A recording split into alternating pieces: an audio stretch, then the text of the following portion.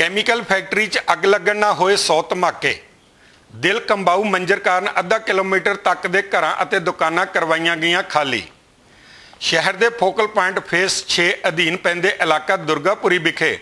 ਪ੍ਰਕਾਸ਼ chemical ਨਾਂ ਦੀ factory 'ਚ dying ਵਿੱਚ ਵਰਤੇ ਜਾਣ ਵਾਲੇ ਕੈਮੀਕਲ ਦੇ ਡਰਮਾਂ ਨੂੰ ਅੱਗ ਲੱਗਣ ਨਾਲ ਲਗਭਗ 100 ਧਮਾਕੇ ਹੋਏ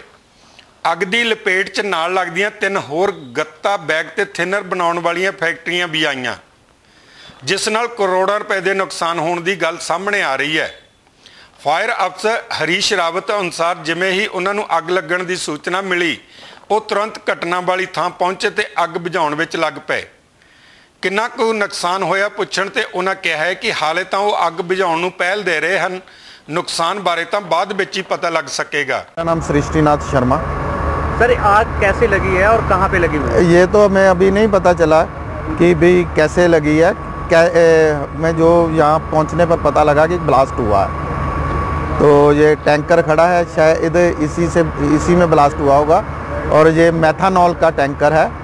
और ये तो खाली हो चुका है लेकिन अंदर ड्रम है मैथानॉल के वो फट रहे हैं वो फटने के बाद इधर आनकर गिरा है कोई साथ में बैग की फैक्ट्री थी उसमें गिरा है उसमें भी लगी आग कितनी गाड़ियाँ मौके पे मौके पे छः गाड़ियाँ हैं तीन अभी आ रही हैं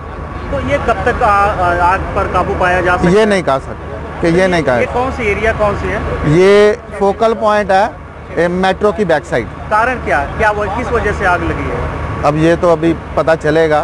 पता करेंगे हम तो आग बुझाने के बाद हाँ जी हाँ जी और भी गाड़ियाँ मंगाई है लुधियाना तो गुरमीत निजर की रिपोर्ट कैमरामैन अमनदीप के नाल Fox dot Punjabi your city your news